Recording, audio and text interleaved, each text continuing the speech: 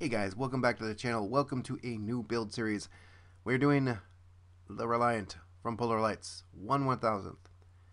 You knew this because you can read the title of the video, but I did a bigger kit review, a more in-depth, shall I say, kit review of this. You can watch that if you want. I'm just going over the parts quickly here. In that review, I said I might build this on a stream, and I won't be lighting it. Both those things were lies. I, I'm obviously not building it on a stream because the video here exists. You're watching. This is why. And I will be lighting it, although limited because we have very little space and my eyeballs and hands aren't that talented. I'm going to start here with the warp nacelles in a second, so let's get going.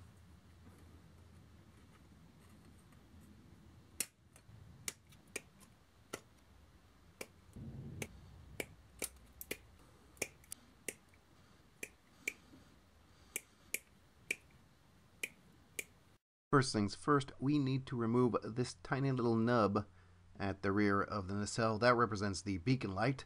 So off it goes. On the inside of that nacelle, there's a little bit of that nub.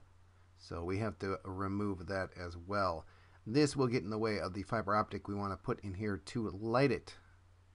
P.S. Do not um, do not cut towards yourself, kids. Just just don't. And of course, we use some sandpaper to make sure that nub is completely gone. With that nub gone, the other side has a little notch in it, which forms a perfect space for our fiber optic. Sliding the fiber optic into that little notch, we find that it is just the right size. We don't have to do any drilling, just slides in there, fits like a glove. Now we have to figure out where we're going to mount our LED. I want it right about there. And unfortunately, that bulkhead right there is in the way. So we need to get rid of most, if not all, of that bulkhead. And we also have to remove that pin. Here are the clear pieces for our nacelles. I am not lighting these up. Uh, A, there's no room. B, they were never lit in the movie, so I am just fine with that. I am installing these the incorrect way. You do not install these front to back, you install these back to front. It's a much easier way to do that. Can see the tab there at the back just hooks underneath. You've got the two tabs in the middle of the lineup and then the tab at the end and it just snaps right into place. Very little fuss and muss and there you go. Now I need to mark off a couple of places here with my pencil on the end of the nacelle where you see two small lights on the studio model. Now that those holes are marked with the pencil, I need to go through my drill bits and find one that's just the right size for our fiber optic. So we found a drill bit that's the exact diameter of our fiber optic. Now before I started drilling here, I went in with a pin and I pushed little tiny divots into the plastic.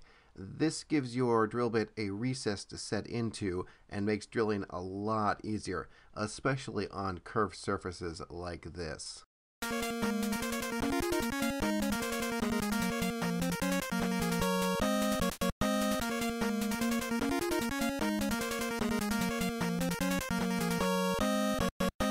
Now here are our holes drilled out. And putting the fiber optic, test fitting it. You can see it fits perfectly right on through there. And we'll be chasing this back here to mount to our LED. And now getting back to that rear bulkhead I discussed earlier. I just need to file out a slot wide enough to insert our 2mm LED I end up filing this pretty much flush with the inside of the nacelle.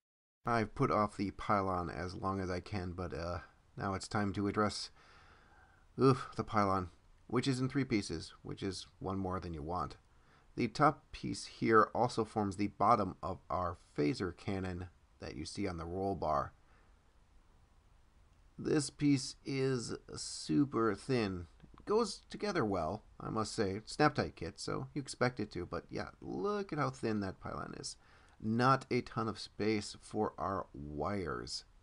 So we're going to have to do some creative wiring. However, it does fit nice and snug on the nacelle itself, so much so that I ended up not even gluing these in place when I got the two halves together. First, I drilled this hole out with my hobby knife. That hole there is flush with the hull and where all the wires from our roll bar and nacelle will be going. Then I channeled that hole out. And I did that by using my little microfiles, handy dandy little things. Just channeled it out big enough to chase two little wires through. With that hole in the pylons in place, I needed a corresponding notch in my nacelles. So once again, I microfiled out a little square section where I could fit my wires through. So we get the pylon in place here, and you can see that that hole in the pylons matches up nicely with the notch in our nacelle. I also drilled a corresponding hole in the edge of our hull where the pylon attaches. So now all of our wires have a happy little place to coalesce before descending into the base. We need to run a wire up through here.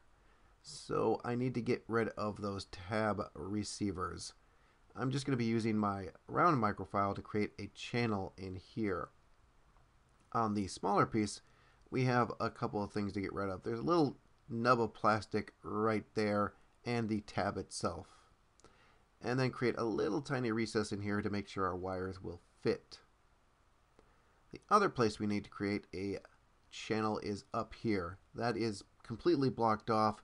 We will not be able to get a wire in there. So again, using my round microfile, I'll be creating all of these channels for our wire. And here's what that recess looks like in the top and on the other side of the pylon. And I'm just test fitting the wire that will be coming in from the top from our roll bar to make sure it has enough room uh, to get down to that hole right there. And hey, it does. I've got all the light blocking done for the nacelles. However, I want to keep the flat black on our grills there, so I'm just going to mask them off.